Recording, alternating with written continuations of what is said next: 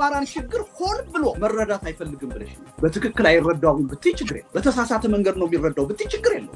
ሆን ብሎ አይረዳውም። እንዴት እንዴት ያ ትክክል ነው ይሄ በትግራይ ህዝብ ዘንድ የተሻለ ተቀባይነት ያለውን ህወሓትን ዳሴት ያልኩ እዚህ ነው የሚካሄድ ጦርነት ፍትሐዊና ውጤታማ ሊያደርገው አይችልም ይላል።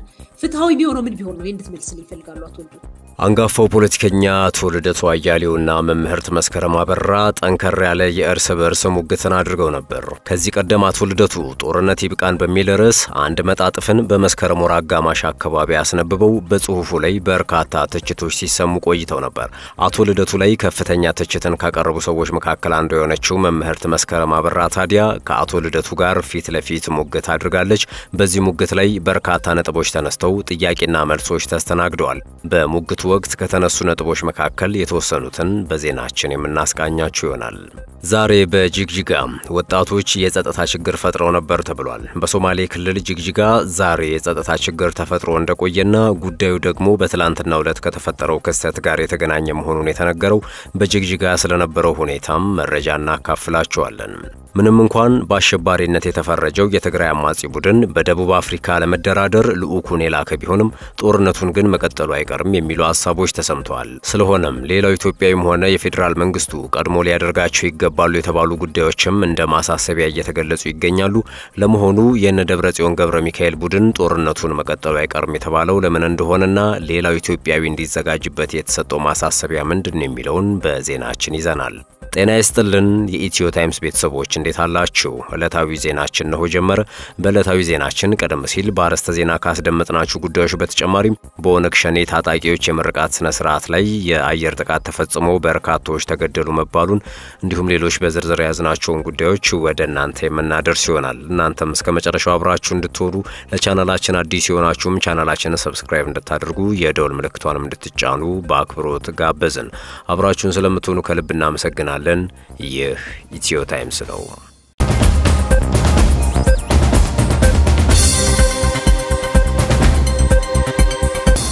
የሰሜን ኢትዮጵያውን ግጭት በአስቸኳይ ማቆም ቅድሚያ ሊሰጠው የሚገባ ጉዳይ መሆኑን አሜሪካ ገለጸች። የሰሜን ኢትዮጵያውን ግጭት በአስቸኳይ ማቆም ቅድሚያ ሊሰጠው የሚገባ ጉዳይ ነው ስትል አሜሪካ የገለጸችው በደቡብ አፍሪካ የተጀመረውን የፌዴራል መንግስትና በአሸባሪነት የተፈረጀውን የትግራይ አማጺ ቡድን የሰላም ንግግርን በተመለከተ በውጭ ጉዳይ መስሪያ ቤቷ በኩል ባወጣችው መግለጫ ነው። የአገሪቱ የውጭ ጉዳይ ሚኒስትር አንቶኒ ብሊንከን በመግለጫው ላይ ለጦርነቱ ወታደራዊ እርምጃ መፍትሄ አይሆንም ያሉ ሲሆን ይህ የሰላም ድርድር ለሁሉም ኢትዮጵያውያን ዘላቂ የሆነ ሰላም ለማምጣት ተስፋ ሰጭ እንደሆነም አመላክተዋል። ጦርነቱን ለመቋጨት የሚደረገው የሰላም ንግግር ትላንት ጥቅምት 15 ቀን 2015 ዓ ም በደቡብ አፍሪካ መጀመሩን የደቡብ አፍሪካ ፕሬዝዳንት ቃል አቀባይ ገልጸዋል። የአሜሪካ የውጭ ጉዳይ መስሪያ ቤት ኃላፊ ግጭቱ በአስቸኳይ ማቆም ቅድሚያ ሊሰጡ የሚገባ ጉዳይ ነው ከማለታቸውን በተጨማሪ ተደራዳሪዎቹ በጦርነቱ ለተጎዱና ሰብአዊ እርዳታ ለሚያስፈልጋቸው ሁሉ ያልተገደበ የሰብአዊ እርዳታ እንዲደርስ የሰላማዊ ሰዎች ደህንነትን ለመጠበቅ እርምጃ እንዲወስዱ እንዲሁም ኤርትራ ከሰሜን ኢትዮጵያ ኃይሏን እንድታስወጣ ከስምምነት እንዲደርሱም ጥሪ አቅርበዋል። የውጭ ጉዳይ መስሪያ ቤት ኃላፊው ጨምሮም ደቡብ አፍሪካ ይህንን የሰላም ድርድር በማዘጋጀቷ አድናቆታቸውን ገልጸው የአፍሪካ ሕብረት ልዩ መልእክተኛ የሉሴጉን ኦባሳንጆን ጨምሮ ለአደራዳሪዎቹ ያላቸውን ድጋፍ ገልጸዋል። በደቡብ አፍሪካ በተጀመረው የሰላም ንግግር ላይ ኢጋድ፣ የተመድና የአሜሪካ ተወካዮች በታዛቢነት እየተሳተፉ መሆኑን የአፍሪካ ሕብረት ማስታወቁ አይዘነጋም። በኦሮሞ ነጻነት ጦር ታጣቂዎች የምርቃት ስነ ስርዓት ላይ በተፈጸመ የአየር ጥቃት በርካቶች ተገደሉ ይላል የቢቢሲ ዘገባ። በተለምዶ ኦነግ ሸኔ የሚባለውና ራሱን የኦሮሞ ነጻነት ጦር ብሎ የሚጠራው ቡድን ቃል አቀባይ ኦዳ ተርቢ በትዊተር ገጻቸው ላይ ከጥቅምት 10 2015 ጀምሮ በክልሉ ቢያንስ ስድስት የሰው አልባ አውሮፕላን ጥቃቶች ተፈጽመዋል ብለዋል። ራሱን የኦሮሞ ነጻነት ጦር እያለ የሚጠራው ቡድን በጅምላ ግድያ፣ ዘረፋ፣ በንጹሐንና በመንግስት ባለስልጣናት ግድያ፣ መንገድ በመዝጋት የህዝብና የመንግስት ንብረትን በማውደም ሰዎችን አፍኖ በመውሰድና በሌሎች ወንጀሎችም ተጠያቂ ነው። ትህነጎች በትግላቸው ይቀጥላሉ ይላል በሪሁን አዳን ያስነበበው አንድ አጠር ያለ ጽሑፍ። የወያኔ መሪዎች ፍጹም ፍትሐዊ፣ ጸረ ዲሞክራቲክና ጸረ እኩል መሆናቸው የማያከራክር ቢሆንም ለቆሙለት ዓላማ እስከ መጨረሻው እንደሚዋደቁ የታወቀ ነው ሲልም ጽሑፉ ያክላል። ስለሆነም ባልጠበቁትና ባልገመቱት ሁኔታ ሰራዊታቸው በየግንባሩ ቢፍረከረክም የጦርነቱን ዘይቤ ቀይረው ወደ ኖሩበት የሽምቅ ውጊያ ይገባሉ እንጂ እጅ ይሰጣሉ ማለት ከባድ ይሆናል ሲልም አስተያየቱን ያክላል። አውደ ውጊያውን አሸንፎ በጦርነቱ መሸነፍ እንዳይመጣ ከወገን ጎራ በጣም ብዙ ስራ ይጠበቃል ሲልም ነው የሚያሳስበውም። ከሁሉ አስቀድሞ ጦርነቱ ተራዛሚ ባህሪ ያለው መሆኑን መገንዘብ መሰረታዊ እንደሆነ ጠቅሶ እንዳለፈው ጊዜ ዱቄት ሆነዋል፣ ተበትነዋል፣ ወዘተ የሚል ትጥቅ አስፈቺ ትንተናና ትርክት መያዝ ውድ ዋጋ እንደሚያስከፍልም አስጠንቅቋል። ጦርነቱን በወገን ድል እስኪጠናቀቅ ድረስ ሁሉም ሰው ሁልጊዜም በየመስኩ እንዲታገል ማድረግ ያስፈልጋልም ብሏል። ጦርነቱ በአጭር ጊዜ እንደማይጠናቀቅ ግንዛቤ ከተያዘ ደጀኑ ሕዝብ ሳይዘናጋ ራሱን እንዲያደራጅ፣ እንዲሰለጥን፣ ልማቱን በሰራዊት ዲሲፕሊን እንዲያለማ እንዲሁም ሌሎችን ተግባራት እንዲያከናውን ማድረግ እንደሚቻልም ጠቁሟል። መዘናጋትና የእርስ በርስ ሽኩቻና መጠፋፋት አይኖርም። በደስታውም በለቅሶውም በከንቱ እየተኮሱ ጥይት ማባከንም አይታሰብም ነው ያለው። ጦርነቱ ተራዛሚ ባህሪ ስላለው ከጭፈራው ቀነስ አድርጎ ራስን ማዘጋጀት እንደሚያስፈልግ ካለፈው ውድቀት መማር ብልህነት እንደሆነ በተለይም የአማራ ክልላዊ መንግስት አመራሮች የሰመረ የመንግስትና ህዝብ ግንኙነት ለመፍጠርና በአሸባሪነት የተፈረጀ ቡድን የማይደፍረው ጠንካራ ህብረተሰብ ለመገንባት ሌት ተቀን መስራት እንደሚገባቸውም ነው በሪሁን አዳነ በዚሁ ጽሑፉ ላይ ያሳሰበው። ጅግጅጋ የጸጥታ ችግር ገጥሟታል። የተፈጠረው ችግር ደግሞ በትላንትናው ዕለት በጥይት ተመተው ከሞቱት የክልሉ ፓርላማ አባል ጋር የተያያዘ ነው። በትላንትናው ዕለት በጅግጅጋ ገራዱ ይልዋል አየር ማረፊያ በጥበቃ ላይ የነበረ የፖሊስ አባል በከፈተው ተኩስ የአንድ ሰው ህይወት ሲያልፍ ሶስት ሰዎች መቁሰላቸውን ትላንት ወደ እናንተ ባደረስነው የዜና ወጃችን ነግረናችሁ ነበር። ትላንት ከሰዓት በኋላ በገራዱ ይልዋል አየር ማረፊያ የተፈጸመውን ሁኔታ አስመልክቶ የሶማሌ ክልል ፖሊስ ኮሚሽን ኮሚሽነር መሐመድ ሐሰን በአየር ማረፊያው ተመድቦ የሚሰራ አንድ የፌዴራል ፖሊስ አባል በከፈተው ድንገተኛ ተኩስ የክልሉ ፓርላማ አባል የሆኑ አንድ ግለሰብ ህይወታቸው ማለፉን፣ ሶስት ሰዎች ደግሞ መቁሰላቸውን ተናግረው ነበር። ድርጊቱን የፈጸመው ግለሰብም በቁጥጥር ስር ውሎ ምርመራ እየተደረገ መሆኑንና ነገሮችን ለማረጋጋት እንደተሞከረ አየር ማረፊያውም መደበኛ አገልግሎቱን መስጠት እንደቀጠለ ገልጸው ነበር። ሆኖም ዛሬ ላይ በተሰማ መረጃ ታዲያ ጅግጅጋ የጸጥታ ችግር ገጥሟታል ተብሏል። የክልሉ የምክር ቤት አባል የሆኑትና ጀዋሪያ የተባሉት ግለሰብ በጥይት ተመተው መገደላቸውን ተከትሎ በጅግጅጋ የጸጥታ ችግር እንደተፈጠረ ነው የተሰማው። የጸጥታ ኃይሉ ወጣቱን ለማረጋጋት ጥረት አድርጓልም ተብሏል። የአማራን ችግር ሆን ብሎ መረዳት አይፈልግም ብለሽ በትክክል አይረዳውም ብትይ ችግር የለው። በተሳሳተ መንገድ ነው የሚረዳው ብትይ ችግር የለው። ሆን ብሎ አይረዳውም። እንዴት እንዴት ያ ትክክል ነው ይሄ በትግራይ ህዝብ ዘንድ የተሻለ ተቀባይነት ያለውን ህወሓትን ዳሴት ያልኩ እዚህ ነው የሚካሄድ ጦርነት ፍትሐዊና ውጤታማ ሊያደርገው አይችልም ይላል። ፍትሐዊ ቢሆነው ምን ቢሆን ነው? ይህ እንድትመልስልኝ ይፈልጋሉ አቶ አንጋፋው ፖለቲከኛ አቶ ልደቱ አያሌውና የፖለቲካ ተንታኟ መምህርት መስከረም አበራ በትላንትናው ዕለት ጠንከር ያለ ሙግትን አድርገው ነበር። የሐሳብ ገበታ በተሰኘ የበይነ መረብ ሚዲያ ላይ የአቶ ልደቱና መምህርት መስከረም እንዲሟገቱ ያደረጋቸው መነሻ ጉዳይ ደግሞ መስከረም 12 ቀን 2015 ዓ ም ይፋ የተደረገው መጣጥፍ ነው። ይህ መጣጥፍ በአቶ ልደቱ አያሌው የተጻፈ ሲሆን ጦርነት ይብቃን የሚል ርዕስ ተሰጥቶታል። በጽሑፉ ዙሪያ የተለያዩ አስተያየቶች እንዲሁም ትችቶች የተሰሙ ሲሆን ይህን የአቶ ልደቱን መጣጥፍ አጥብቀው ከተቹ ሰዎች አንዷ መስከረም አበራ ነች።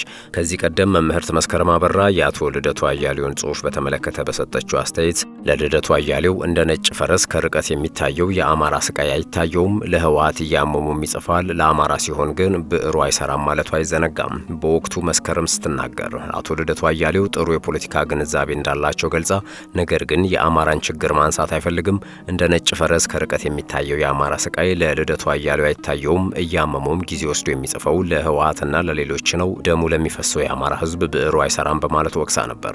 መስከረም አጠቃላይ መጣጥፉን የገለጸችው ጽሑፉ ውስጥ እያንዳንዷን አንቀጽ አቶ ልደቱ የህወሓትን መነጽር አድርጎ ነው የጻፈው።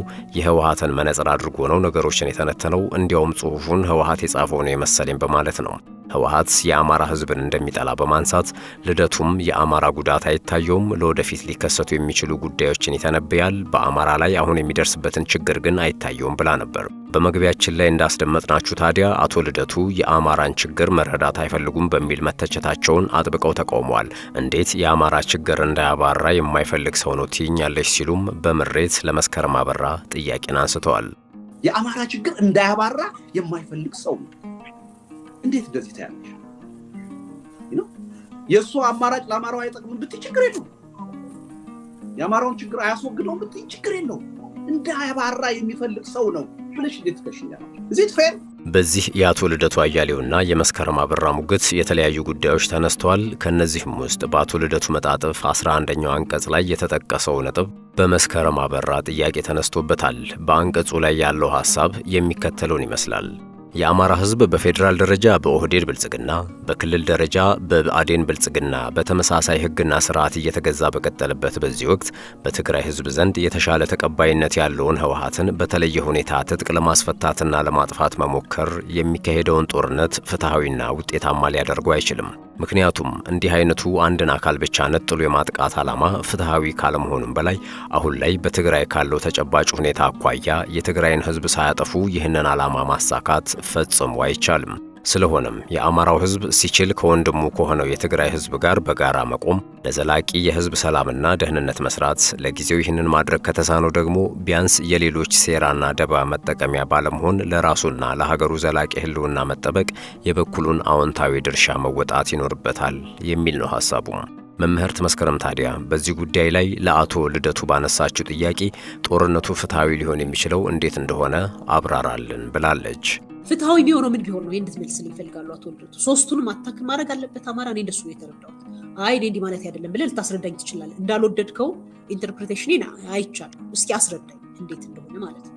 አቶ ልደቱም ለመስከረም አበራ ጥያቄ በሰጡት ምላሽ አሁን ባለው ተጨባጭ ሁኔታ የትግራይን ሕዝብ ሳያጠፉ ህወሓትን ማጥፋት አይቻልም የሚለውን መከራከሪያ አጽንኦት ሰጥተውታል።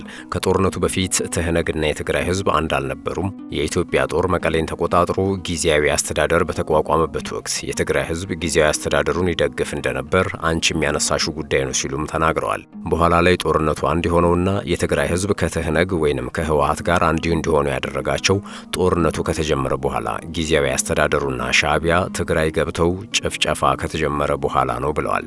በዚህ ሁኔታ የትግራይ ህዝብ አማራጭ ስላልነበረውና የህልውና ጉዳይ ስለሆነበት ከትህነግ ጋር አብሮ ቆሟል በማለት ነው አቶ ልደቱ ምልከታቸውን ያስረዱት። በአማራ በኩልም ቢሆን ጦርነቱ የተጀመረ ጊዜ ጉዳዩ የትህነግ ወይንም የህወሓትና የብልጽግና የነበረ ቢሆንም ኋላ ላይ ግን ወደ አፋርና አማራ ክልሎች መዛመቱ የህዝብ ጦርነት እንዳደረገው ገልጸው ስለሆነም ጦርነቱ እንዲቆም ህዝብ ለህዝብ አትዋጉ እያልኩ ነው ብለዋል። አቶ ልደቱ አያሌው በወርሃ መስከረም 2015 ዓ ም ባስነበቡት መጣጥፍ ላይ የጠቀሱትን ጉዳይ እዚህ ላይ ያጠናክሩታል። የአማራ ህዝብ በብልጽግና እየተገዛ ባለበት ሁኔታ በዚህ ወቅት በትግራይ ህዝብ የተሻለ ተቀባይነት ያለውን ትህነግን ለማስፈታት የሚደረገው ጦርነት ፍትሐዊ እንዳልሆነ የሚገልጹ ሲሆን ጦርነቱ የስልጣን ችግር ነው፣ 27 ዓመት ኢትዮጵያን በአምባገንነት የገዛው አካል አንድ ሆኖ ተገቢ የሆነ ማሻሻያንም አድርጎ ሀገር መካስ ሲገባው እንደገና በስልጣን ጥያቄ ተከፋፍሎ ህዝብን ወደ ውጊያ በመክተቱ ጦርነቱ ፍትሐዊ አይደለም ብለዋል። ፍትሐዊ ጦርነት ሊባል የሚችለው ይላሉ አቶ ልደቱም ፍትሐዊ ጦርነት ሊባል የሚችለው የኢትዮጵያ ህዝብ አሁን ላይ ሱዳን የፈጸመችበትን ወረራ ቢዋጋ ወይም አልሻባብ በሶማሌ ክልል የፈጸመውን ወረራ ቢመክት ነው ይላሉ። ነገር ግን ዶክተር አብይ እንኳን ፍትሐዊ እንዳልሆነ ስለ ጦርነቱ ተናግረዋል ሲሉም ያክላሉ። ትህነግ ወይንም ህወሓት ብልጽግና ሆኖ ቢቀጥል ኖሮ ይህ ሁሉ ችግር እንደማይፈጠር እንዲያውም የዘረፈውን ሁሉ ይዞ መቀጠል ይችል እንደነበረ የትህነግ ሰዎች ከዚህ መውጣታቸው ነው ስህተቱ የሚል ይዘት ያለው ንግግር ከዚህ ቀደም ጠቅላይ ሚኒስትሩ መናገራቸውን እንደ ማጣቀሻ አቅርበዋል። ስለሆነም የሀገሪቱ የበላይ አካል የሆኑት ሰው የተናገሩትን አንቺ ለማስተባበል መሞከር የለብሽም ሲሉ መስከረም አበራን ሞግተዋል። ስለዚህ ጦርነቱ የስልጣን ጥያቄ በመሆኑና ፍትሐዊ ባለመሆኑ ህዝቡ ያለ አግባብ የጦርነቱ አካል ሆኗል፣ ሰለባ ተደርጓል ብለዋል አቶ ልደቱ አያሌው በምላሻቸው።